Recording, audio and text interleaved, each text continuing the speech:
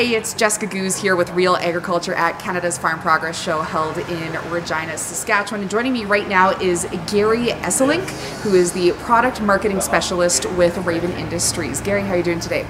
I'm doing great. How about you? I am doing quite well, thank you. It has been raining this week, which is something that farmers need here. Uh, but whereabouts are, are you actually based out of? Um, I'm based out of southwest uh, Minnesota and uh, northeast South Dakota. Okay. Uh, our Raven headquarters is in northeast South Dakota in Sioux Falls. In Sioux Falls, gotcha. And over there, it's a little bit of a different picture when you when you talk about crops. Say it's a little too Com wet. Yes, complete opposite. Complete uh, opposite. We are.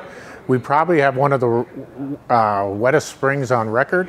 uh, crop planting is three to four weeks behind schedule. Wow, if only we could switch. That's Some- right. Somebody Yeah, needs to either that, either that or balance that it out a bit. Exactly, Yeah. balance it out. But Yeah. today we're talking about some really neat technology that Raven Industries has come up with. And actually, you guys won a gold award at this year's Innovation Awards at Canadian Farm Progress Show. So congratulations on that. Yeah. And uh, we're going to talk about that right now. So what is it that Raven Industries uh, developed? Yeah, well, first of all, we want to give our thanks to the Canadian Farm Progress Show for awarding us this award.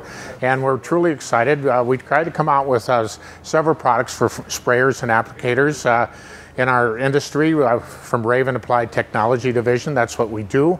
Uh, the product we want to talk about is AutoBoom XRT. This is our. We have had uh, boom height controllers, which was which is what this is.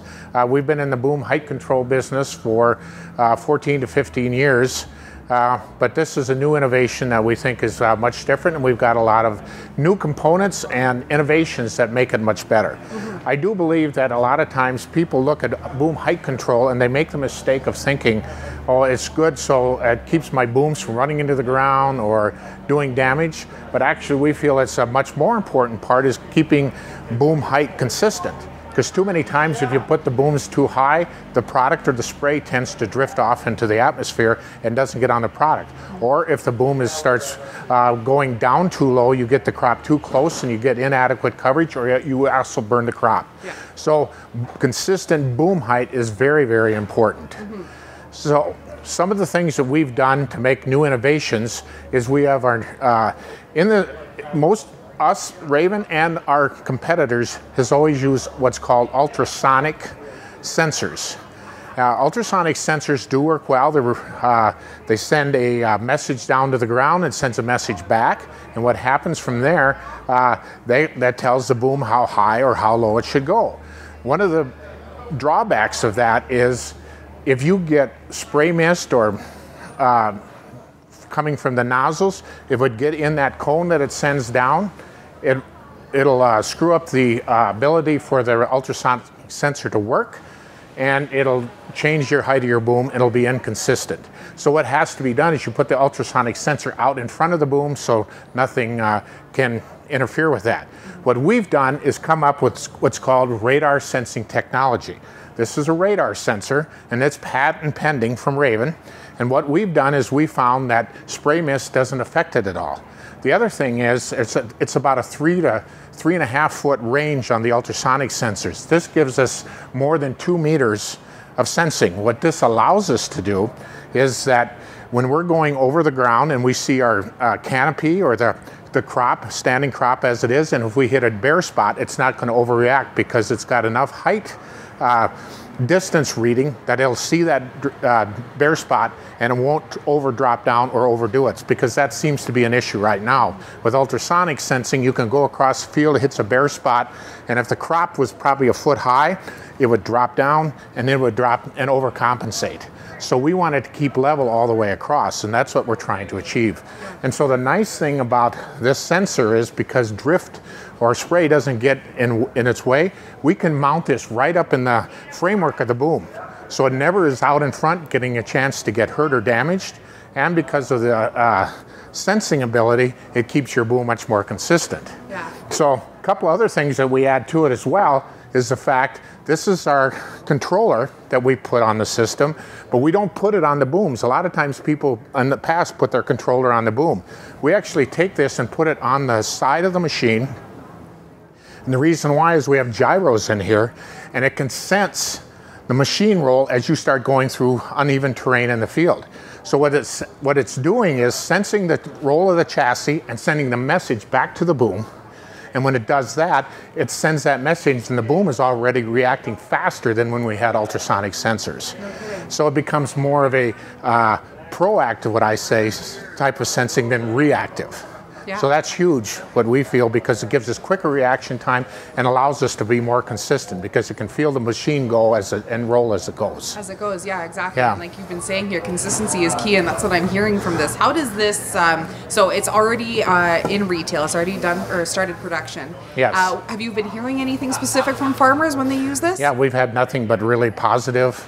Uh, response to it. You know, we've what we do. You know, we, there's all different kinds of machines out there. So you have different boom lengths, different ways they're folded, the booms, and everything like that. So what we do is we make specific kits for each specific boom size, yeah. and that's what we do. So we can spread that out. I want to talk about one other quick feature that's really cool on this. Uh, this is used in the auto industry. Now, in the center part of the boom, it's called the center rack and it can vary from machine to machine. Some, and it's their engineering, some can be more loose so they can react better and give, give uh, a more stable, uh, what they feel is more of a stable uh, reaction. Others make it more firm. So what we do is uh, provide what's called dampers. This isn't a hydraulic cylinder. It's got electronically charged uh, uh, we see the wires on here. So we charge the material that's in here and it makes it firm. Now I'm going to show you a good example. We have this is a, uh, you see this is material in the two syringes. Yeah. Now if we push it back and forth, not a big issue. That's the material. Now I take a magnet and we put it on here and charges it. Now we can hardly move it at all. Wow.